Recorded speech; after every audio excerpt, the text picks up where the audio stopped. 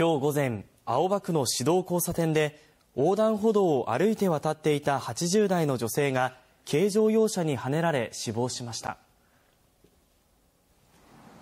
今日午前11時ごろ青葉区八幡の市道交差点で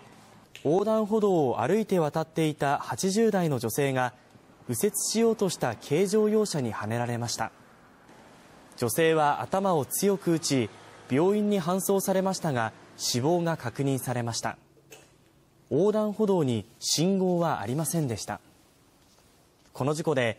軽乗用車を運転していた60代の会社員の男が過失運転致傷の疑いで現行犯逮捕されました。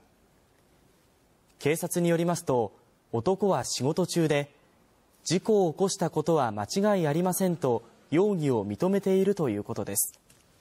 警察が事故の詳しい状況などを調べています。